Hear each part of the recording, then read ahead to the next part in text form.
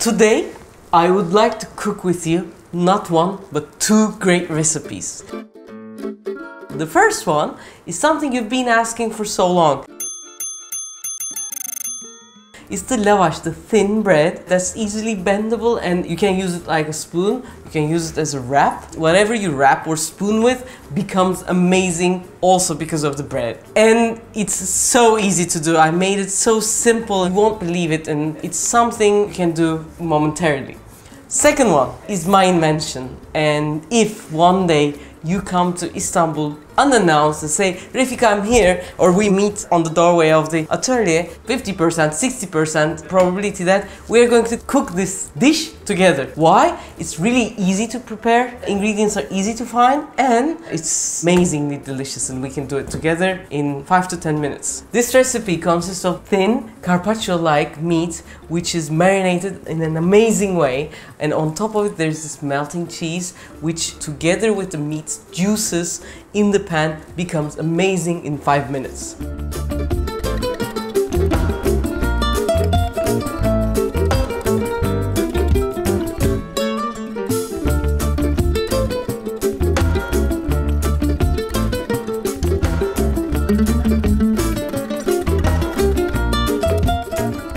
First, I would like to start with the meat. I want to marinate it so that the uh, meat gets even tastier. And to do that, I start with a teaspoon of colored pepper, but it could be black pepper. If you have thin black pepper, it's okay. And I'm going to use a mortar here. what I do, I make a mixture of the black pepper. Actually, red one, green ones, and white ones are different stages of black pepper, same pepper, and different kind of drying. Green and red ones are shock dry, the white ones are watered and dried, and the outside, the wrinkly skin is taken off. But all together, when it's combined, it has like the red and green have more fruity tastes. The taste and the bitterness becomes very, very mind-blowing. I have four garlic cloves together with a bit of salt, teaspoon of salt, not heap. I have two sprigs of rosemary. These are like more full. If you have the store-bought ones, use three. What I do, I never cut the rosemary leaves. What I found out that if you cut it with a, a knife, the bitterness becomes higher. What I do, I take all the leaves like this. Some of it I leave it on the side, so I'll use it as a topping. And now I beat this rosemary about 20 times.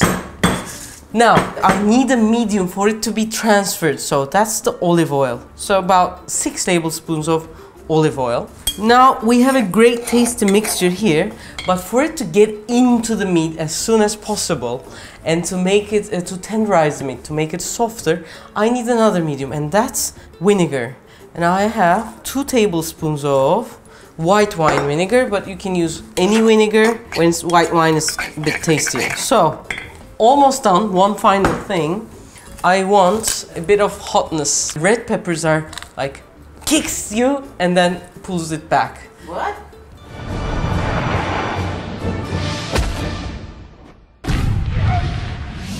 Kicks you like this, and then you get that feeling, and then everything's fine. So I edit here. Uh, use one and a half. Uh, if you have a problem with the hotness, you can decrease. And I leave some on the side to put on top. The rest gets in. And the seeds goes to the bank to be planted. Now we have this incredibly tasting mixture. Here we have 400 grams of filet steak and this will be great for four people. I have taken this from the butcher as a whole and put this on the freezer before we started to shoot, like half an hour. Why? I want to cut it thinly and I don't want it to be like jiggling around. I have a sharp knife and I'll find this part is better, straight. So I would like to cut it like this. They can ask the butcher to slice it. Thinly, but it should be very thinly sliced. Usually butchers wouldn't want to do that. Now, we have all the pieces and some of them are thin, some of them are thicker because it's like the final part and it's not easy to cut. I normally don't like using any more plastic in the kitchen, but for this recipe I kind of need it. And I'm cutting one edge and also this part. Can't you do this with cooking paper? You could, but uh, because you beat it, the moist of the meat gets into the paper and after two, three uses, it's not well anymore. I put this one like this in the middle and like beat it like this. Not like this, but like sliding, hitting and sliding, hitting and sliding. So the first one comes. What we do, take a plate, add some of the mixture to the bottom, some of the olive oil, so that it won't stick. Put the meat in and add some sauce. Now, because there's the vinegar, the redness is going to brown a bit. It's so tasty, you can even eat it like this after half an hour. If you don't have this beating tool, what you can do, take a pan which is like heavy at the bottom and you can use it to hit it like this. Watch your hands for this one.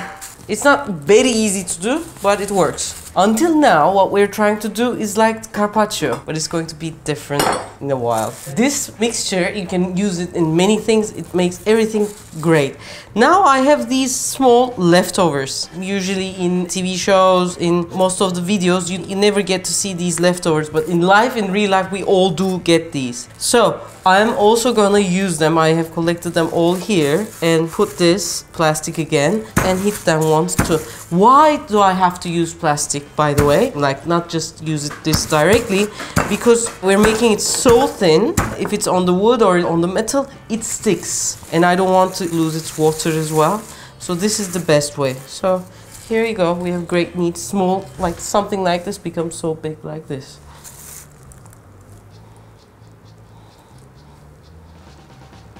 we have to make sure that both sides of each piece, every meat, gets its share from the sauce. This will stay around, like say, 10 to 15 minutes until I make the bread, but we need a small break to make the bread.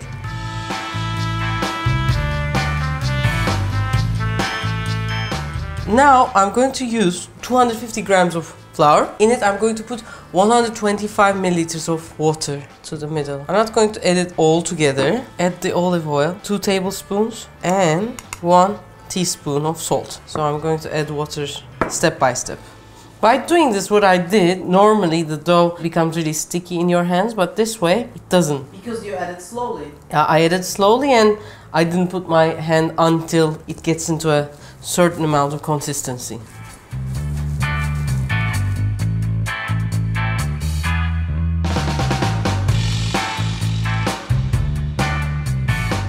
I've been kneading for about six minutes, seven minutes. First, it seems as if the flour wouldn't get inside, but it does. And when it cleans the surface like this, it means it is done. Now I'm making round patties. Normally, lavash, we call it lavash yufka, more in Turkish, is the ancestor of bread. Even before the sourdough, when the wheat was grinded and mixed with water, it was there. And in Anatolia, when I was small, from my father's village, my grandfather would send us, grandma would send us yufkas like this round things on top of each other.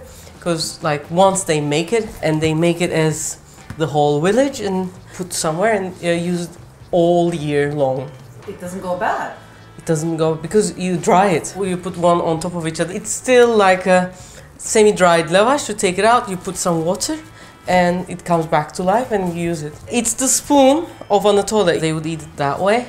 Like they would have this big sitting in the village tables and on the ground, and there would be lavashes, the thin yufkas, and then let's say the pilaf would come, and then maybe if it's a like a bayram or something, religious holiday or something, some meat, but watery meat, not like dried, like steaks, like kind of something which has a lot of garlic, onions, and etc.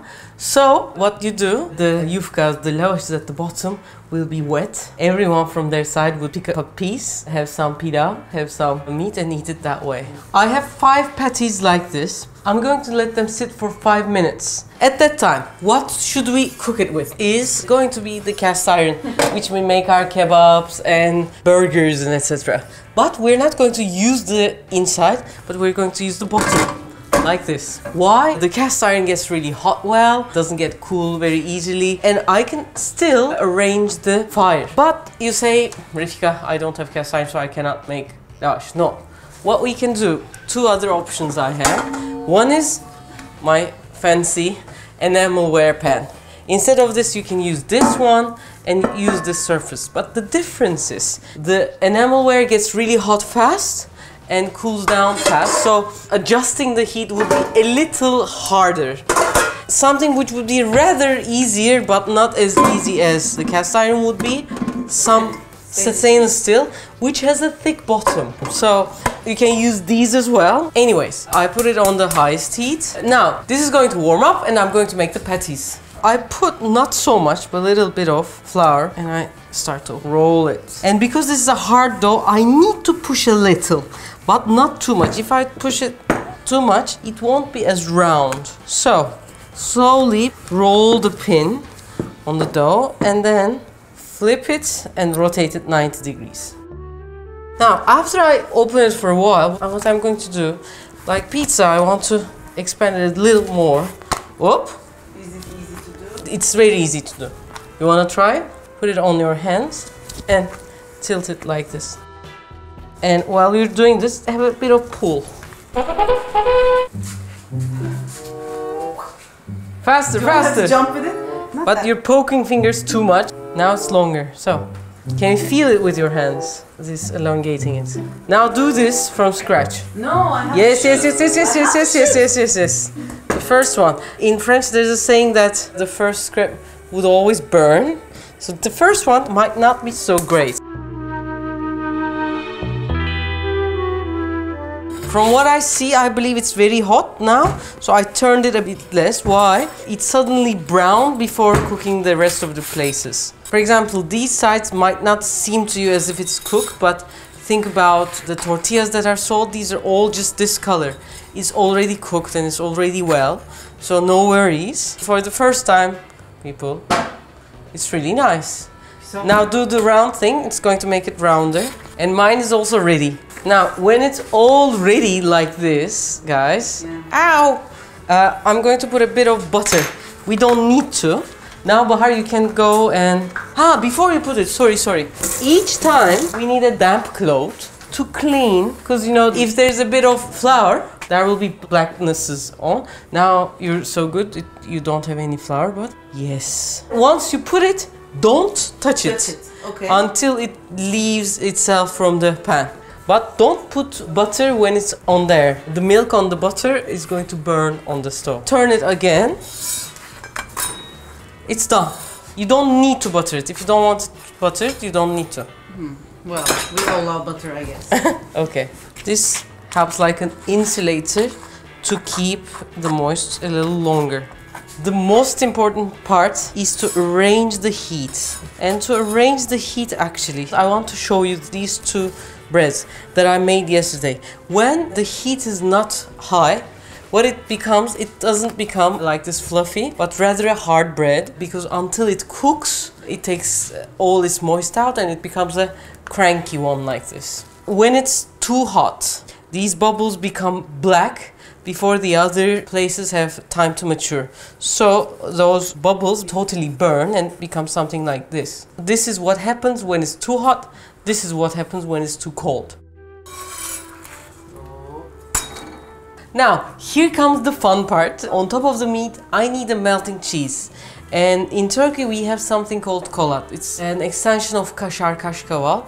What it is, is it's young cheese which can melt and elongate well. You can use mozzarella, different kind of cheeses that you can use that is good for the toasts and melting. You can use various kinds. What I want to show you is my little Refika technique for cutting thin, nice pieces of cheese. 200 grams of cheese is ready and here I have my pan. This episode became more about like actually understanding pans and this is a copper pan. The difference between the cast iron and the copper is actually it's directly its opposite. What it happens is it's one of the best conductors. So the pan gets really hot very easily and really cold when you turn it down. That's what I want because the, my meat is very thin, it will cook very fast. But if it's like a cast iron or big thick bottom stainless steel, it's going to get cool in a long time. So my meat will be overcooked. So enamelware, copper, if not aluminium could do. I turn on the heat. After now, I have to be really fast. I put some olive oil. Make sure that olive oil is distributed everywhere. I start to put my meat. As you can see, it's already browning because of the vinegar. So very fast, I'm putting all these. So if you come, we're gonna do this together.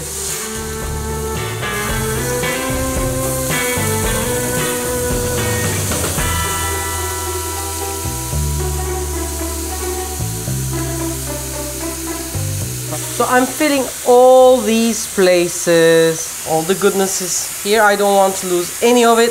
After the first one, which is this one that you put, you finish all putting all of them in. I turn the first one around. Some of them are really thin, so they're already cooked on even the other side as well. If you like medium, medium rare, you don't even have to turn the meat. And I'm putting all the cheese on top very fast. And do you remember the rosemaries and the red peppers? I add. And finally a bit of black pepper, fresh. And the lid. Here it goes. How many minutes? One. Ah.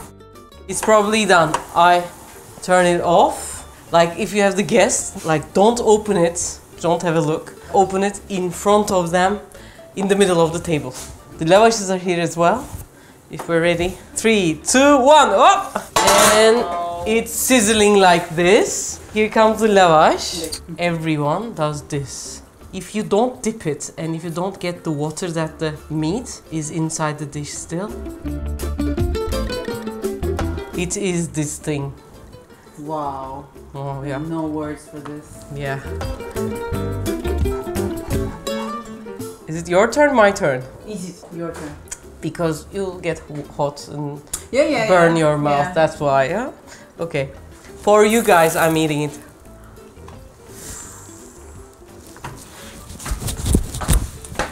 Every time, so good. You get the smell of the rosemary. Each taste opens one by one. Don't be ashamed when you do this, even though you don't do lavash, please clean the plate with some kind of bread or something.